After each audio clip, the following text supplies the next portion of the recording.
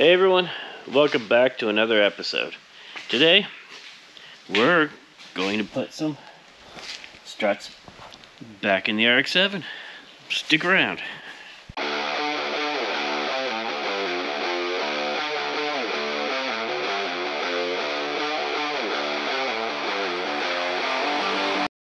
Alright, thanks for sticking around everybody.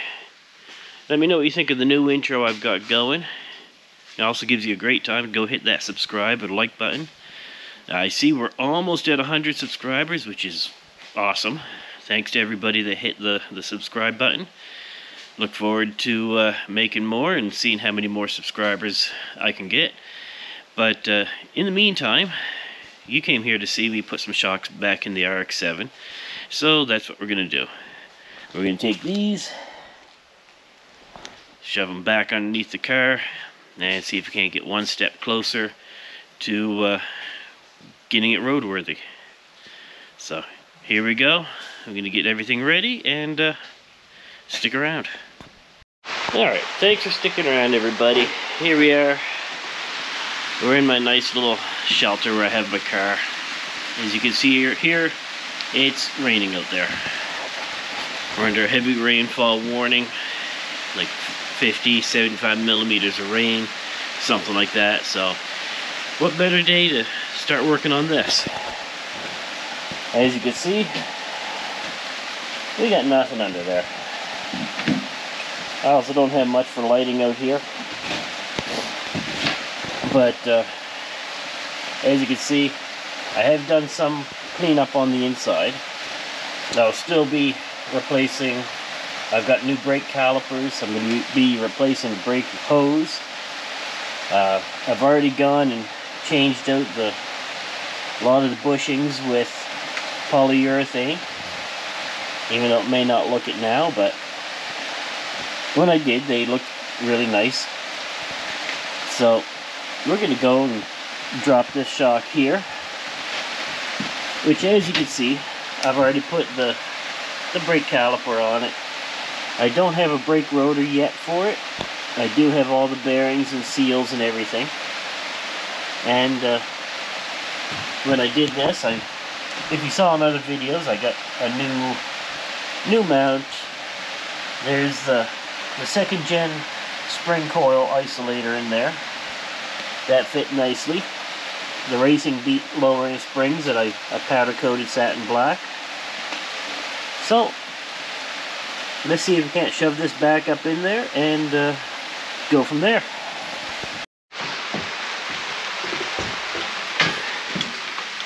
We just take off the, the four bolts.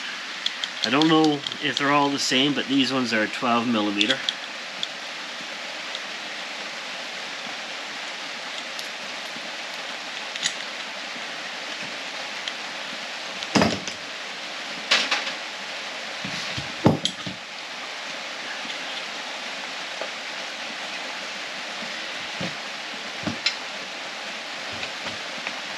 See what kind of luck we can have here.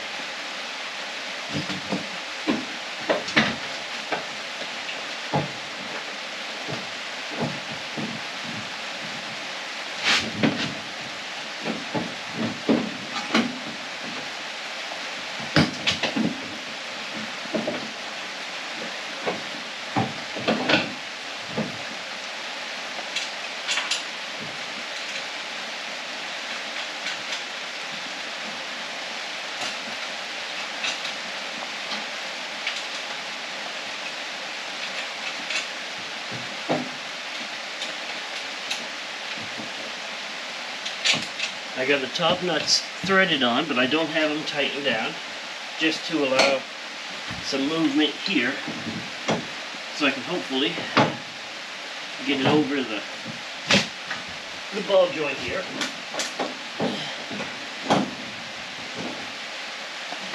Now like that.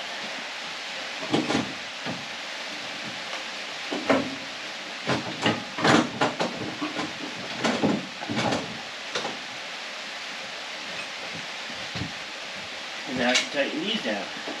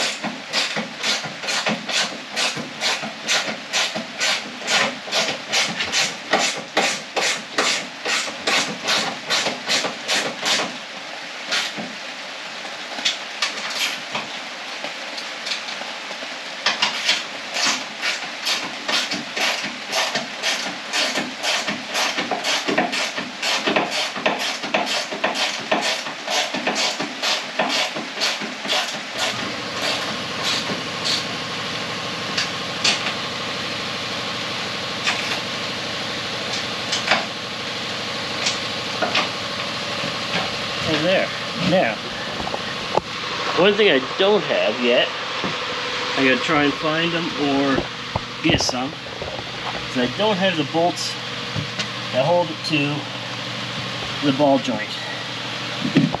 So I'm kind of kind of at the mercy right now of that. However, that's uh, the easy part. Uh, like I said, I will be replacing the the brake lines. So I'm just going to plug the fitting that's on the new brake uh, caliper. I will be throwing just a silicone plug that I use for my powder coating on that. And then we'll get the new springs ordered up. And, or the new uh, brake lines once they come in. Then, hopefully, we can finish putting everything together and get a rim put on there. So I'm going to go start on the other side and uh, keep going. Stick around. Alright, we're back. As you can see, there's the top plate mounted. Bolts are all tightened down. My Racing Beat intake manifold that will be going on here. And then we got our shock, coil, everything all in place. I did learn one thing. Um, the brake calipers, if you put them on the wrong side, they don't fit right. I know you're all laughing at me now, but uh, if you put them upside down, this bolt here at the top, or the slider pin, hits the, the steering arm at the bottom and doesn't allow it to go into place. So what I thought the the brake line fitting right here was going to face downwards, it actually faces up. So the, you get the gravity effect of the of the brake fluid going in there and any air is going to rise up and out. So with that, I have to go find me a couple bolts to uh, bolt the strut to the pitman arm there and uh, gonna have to wait on ordering up some brake lines wait for them to come in. But once that's all said and done we'll be back with more. As you can see I've still got the where the brake line's going to go. And just for the fun yeah piece of a rim. I've still got the rest of those to finish. But I can't do anything with it raining like it has been for the last week and a half. It's really slowed me down here at the shop.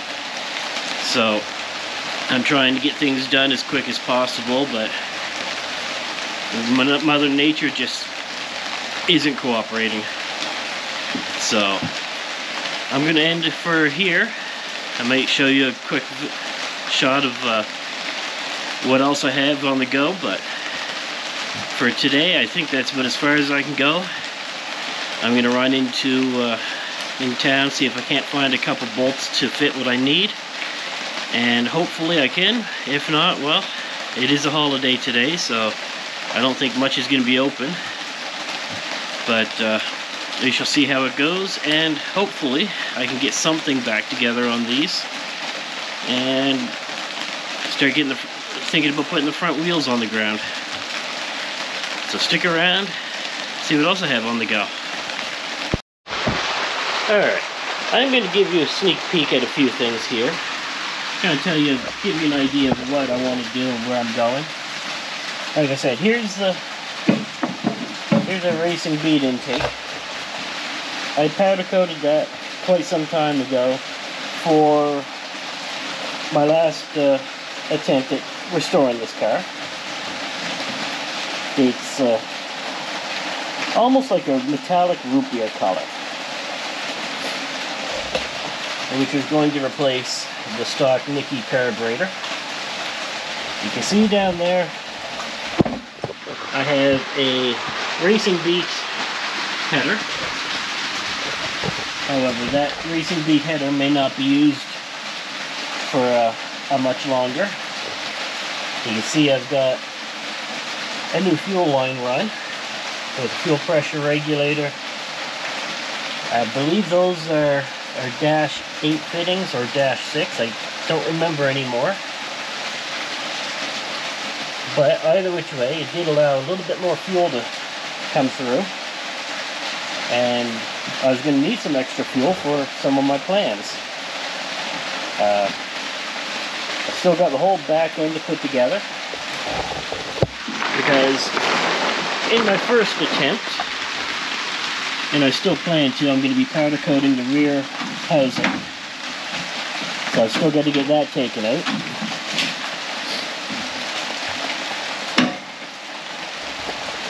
The interior like this, I stripped it because I'm putting a lot of uh, deadener down to quiet it down, clean it up, and I had the interior redone.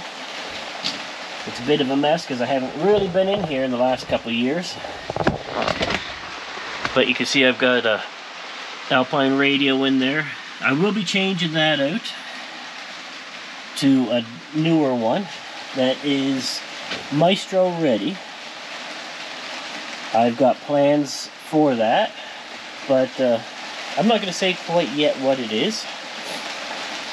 So, all I'm going to say is if you know what the Maestro modules are for my data link, you will know that they can do a whole bunch of fun things with the, the CAN bus system of cars.